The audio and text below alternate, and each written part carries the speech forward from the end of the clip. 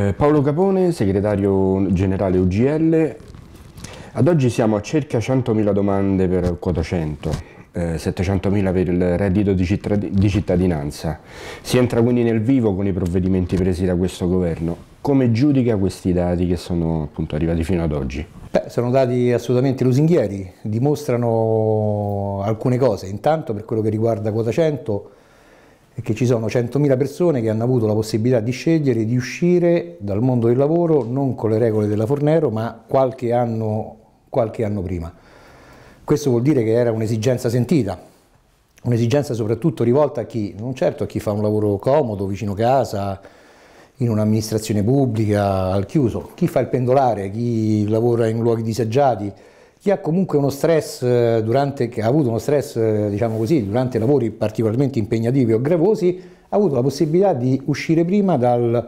dal ciclo produttivo. È il, diciamo così, la prima destrutturazione della, della legge Fornero. Credo che sia una grossa conquista per i lavoratori, è una battaglia che ha fatto la Lega e che ha fatto, e ha fatto proprio una indicazione che aveva dato anche l'UGL prima delle elezioni a tutti quanti i partiti del centrodestra e della, della sinistra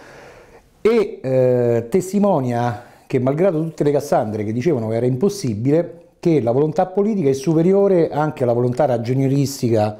che poteva far prevedere che l'Inps non potesse spendere tutti questi soldi per. Diciamo quindi è un risultato che annoveriamo tra i positivi del quale rivendichiamo un po' insomma, la paternità anche perché il sottosegretario Durigon che se ne è occupato fino a, a, prima che facesse il parlamentare era il vice segretario, il mio vice segretario della, della mia organizzazione e quindi ci ha messo quello spirito e quella eh, sensibilità sociale, sindacale eh, che non gli è mai mancata, quindi è positivo. Per quello che riguarda il reddito di cittadinanza anche lì siamo intervenuti con un,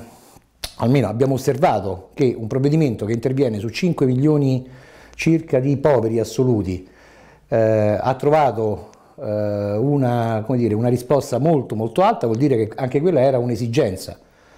e questa esigenza dovrebbe, e lì siamo un po' perplessi in realtà, eh, fare poi, eh, pro, dire, produrre un circuito virtuoso a fronte del quale chi chiede il reddito cittadinanza viene avviato eh, verso un programma di inserimento nel lavoro. Questo pensiamo che sia un po' più complicato perché ancora, i centri per l'impiego non sono ancora attrezzati, attualmente il centro per l'impiego avvia al lavoro il 2% di, di, coloro che prendono lavoro ogni, ogni, ogni mese, ogni anno e quindi deve essere implementato, adesso i navigator se saranno le figure che saranno in grado di fare il lavoro di scouting eh, delle domande e poi di preparazione dell'offerta, cioè bisogna